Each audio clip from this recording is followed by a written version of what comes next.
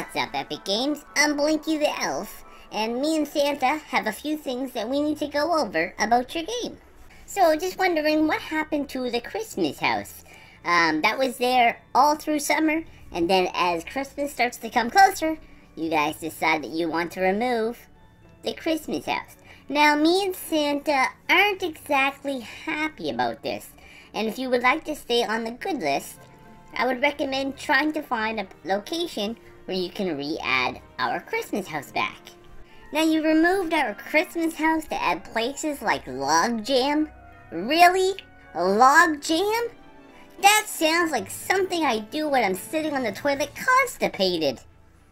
And what's this over here? Steamy stacks? More like steamy stacks of shit. And there's another thing too, the, the chimneys inside the game, they don't actually work.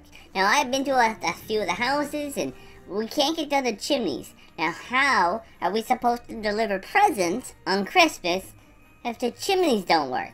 That's not very realistic. A lot of the elves at the North Pole play Fortnite. Me and my squad, we jumped at the Christmas house every time.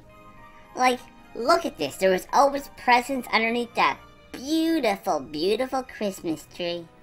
And then, you guys said, you know what? It's just gone. Chapter 2 came along and you were just like, yeet! See you later! I'm just gonna send in a report here. Uh, this is harassment for sure. Uh, and uh, yeah, definitely annoying me. Uh, I want to report uh, the people at Epic Games uh, for, for destroying the Christmas house. Now, I don't know how everybody else feels, but I did like the Christmas house, and I wish it was back. Uh, why don't you guys let me know what was your favorite place to land? And nobody in the comments better say steamy stacks, or I'm gonna lose it. Anyways, leave a comment. I reply to every single comment. And until next time, stay good, because me and Santa are always watching.